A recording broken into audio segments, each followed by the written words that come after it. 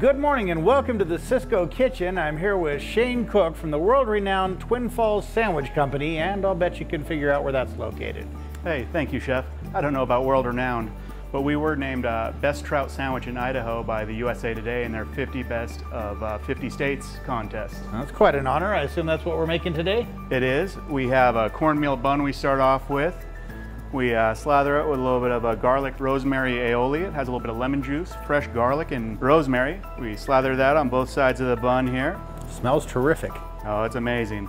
We got some fresh spring mix here, tomatoes, a little bit of onion here, and then we have trout from Hagerman Clear Spring Farms. It's just down the road from us. It's got an egg wash with a little bit of flour and uh, cornmeal batter. We deep fry that for about four or five minutes until the uh, skin is crisp.